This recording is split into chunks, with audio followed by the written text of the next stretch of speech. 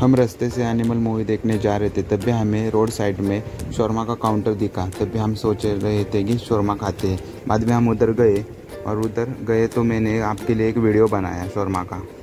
मैं उसे पूछ रहा था, ये क्या है, वो क्या है? वो नहीं बता रहा था, वो बता रहा था हमारा वो सीक्रेट रेसिपी उसमें से भी मैंने जितना होता है, उतना मैं आपके लिए रेसिपी लेके आया हूँ। उसने शर्मा या बेच लिया, उसके अच्छे तरह से उसे, चारों तरफ़ से उसे सेका। बाद में वो वो चिकन लटकाया था, वो अच्छी तरह से पक गया था, वो अभी उसे घुमा घुमा के काट रहा था। नाइफ और लैडर से वो घुमा घुमा के अच्छी तरह से उसने चिकन निकाला। ये देखो, ऐसा निकल रहा था।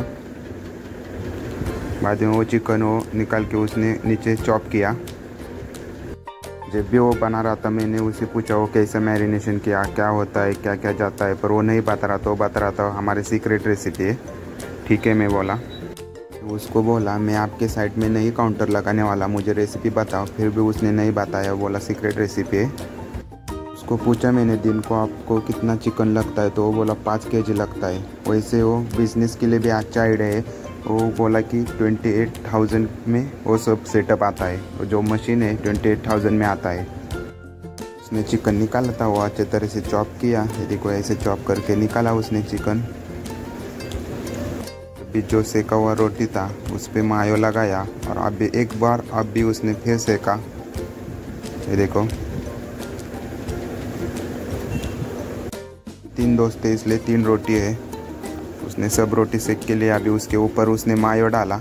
अच्छे से उसे मायो को चारों तरफ़ से लगाया और उसके ऊपर भी कैचअप ऐड किया उसने। और उसको पूछा, वो चटनी कौन सी है? तो वो बोला सेजवान जैसे पर सेजवान नहीं है और वो चटनी स्पाइसी है। सॉस थे, उसने अच्छे तरह से वो सॉस को रोटी को लगाया, ये देखो। और उसके बाद वो ऊपर से कैबेज डालने वाला था। मतलब डाला उसने ऊपर से कैबेज उस कैबेज में बीट रूट भी जाता है, पर उसके पास नहीं।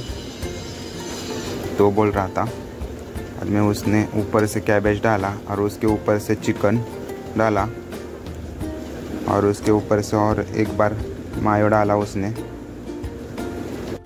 के बाद उसने बटर पेपर में रोल करके दिया। सिंपल रेसिपी है शौरमा की।